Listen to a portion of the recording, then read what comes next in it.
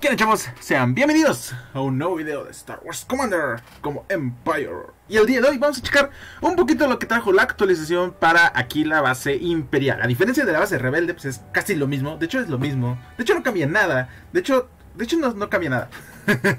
Nomás para, pues, para los que son imperiales, pues también tengan su como su, su chequeo, su review de la actualización que apenas estuvo.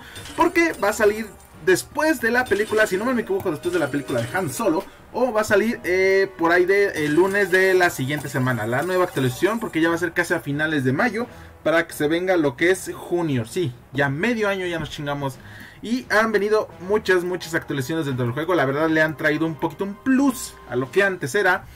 Y pues cambiaron varias cosas que no, que no, que no dije durante la base durante el chequeo en la base rebelde, pero lo digo ahorita en la base imperial, que de hecho los cuadritos morados ahora tienen como que rayitas, como que se mueven, así como que se ve, así como decir, no, pues te ves más pinche pro.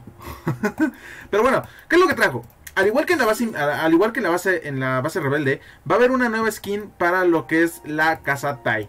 La famosa casa Tai del imperio. Ahora le van a meter lo que es una skin de la nueva casa Tai Buba que en este caso es esta nueva casa que va a aumentar un este bueno aquí dice brute en inglés pero en español es buba así sale la actualización la, la, la, la, ¿cómo se llama? la traducción pero la casa Tai ahora va a tener un daño de 85% y va a tener un pequeño cañoncito a un lado. Aumentaron el, espacio de la cabina de las casas Tai.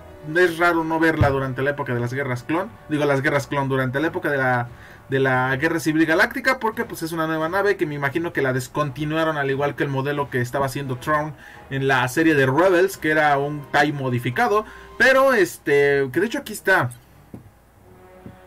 de hecho por aquí estaba el pitch TIE que es el que ocupamos que es el bombardero son todas modificadas entonces pues no salieron en la trilogía original pero pues, pues, pues las meten ahorita en la nueva la única forma de poder ver nuevas cosas que son estas, que era el defensor TIE, que era este, digamos, eran más eficientes que las mismas TIE y que los mismos bombarderos, pero ya no terminaron el diseño, según lo que dice en Star Wars Rebels. Para los que no lo han visto, ya les di un buen spoiler, así que véanlo, véanlo. ¿Sale? Entonces va a salir esa nueva, esa nueva skin con un 85% de daño para las casas TIE. Y al igual que las X-Wing, ya para los, desarrolladores tal vez dijeron, no, no, pues para que no se estén quejando estos cabrones de los imperiales, pues les vamos a dar el mismo daño, a diferencia de los aéreos. Pero sí, 85% lo vas a poder ocupar en cualquier unidad, bueno, en cualquier planeta. Y va solamente, pues, se le va a aumentar un skin. Y ya. Es lo único que se le hace. No hace más. Y la siguiente unidad es una es este que se encuentra dentro del mando planetario. Ya saben que esta actualización se encargó de actualizar o meterle cosas a los mandos planetarios, a las naves, porque en sí la película se enfoca un poquito más en mercenarios y naves, entonces le metieron eso. Dice, obtén 32 fragmentos para desbloquear esta unidad, que es el remolcador AT. Dice, el Imperio utiliza remolcadores AT para desplegar rápidamente armaduras pesadas en el campo de batalla. Esta nave especializada para llevar vehículos hasta cualquier lugar, salvo bajo escudos. Aquí dice diferente que en la rebelde, pero bueno. Dice, despliega dos aerotanques 2M en el nivel 1. Mejora a un caminante AT-AT en el nivel 6. Y después dice, investiga el remolcador AT para aumentar el nivel de vehículos, el nivel de los vehículos desplegados.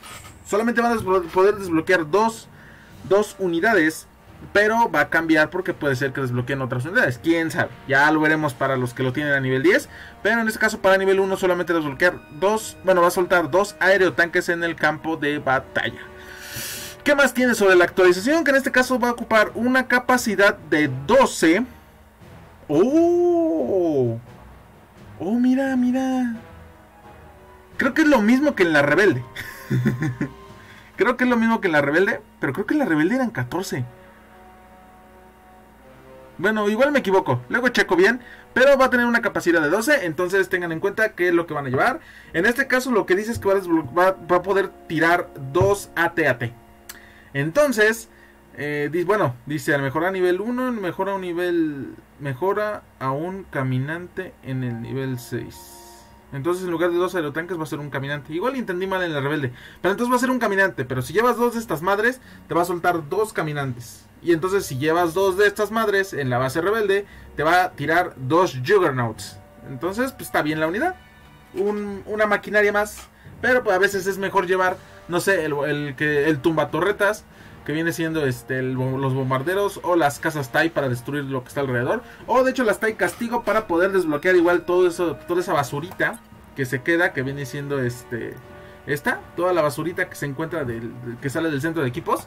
Entonces este quién sabe cómo salgan y cómo se usan esas unidades pero ya lo veremos en la siguiente bueno cuando salga ya oficialmente la actualización para las dos bases tanto para imperial como rebelde eh, otra cosita que les tenía yo que decir era que también cambiaron los diseños de la base rebelde de las plataformas. Aquí los imperiales al parecer no les cambió en nada. Si no mal me equivoco, creo que un poquito aquí, un poquito de diseño, pero siguen casi iguales las plataformas de despliegue. Digo, las, las plataformas de transporte. Y los barracones me imagino que van a seguir siendo los mismos. No, de hecho se ven un poquito diferentes a como iban a ser a, a como estaban a nivel 10. Pero bueno, ya ya lo íbamos viendo no, de hecho los tengo a nivel 8. Oh, maldita sea. Oh, maldita sea. ya después veré cómo hacerle para mejorarlo estos pinches barracones. Pero bueno, chavos, esto es lo que tenemos de la actualización para una base nivel 9 mejorando a nivel 8 algunas estructuras. Ya lo veremos con ustedes que son niveles más altos. Y pues nada, era lo único que les quería traer. Tal vez voy a traer otros gameplays porque estoy descargando un emulador para que juegue yo en la computadora y así ya no ocupe tanto el celular. Porque ya saben que mi celular explota, así boom. Así que pues nada, chavos, nos vemos en la siguiente con cosas nuevas. Juegos nuevos. Ya saben, larga vida al imperio.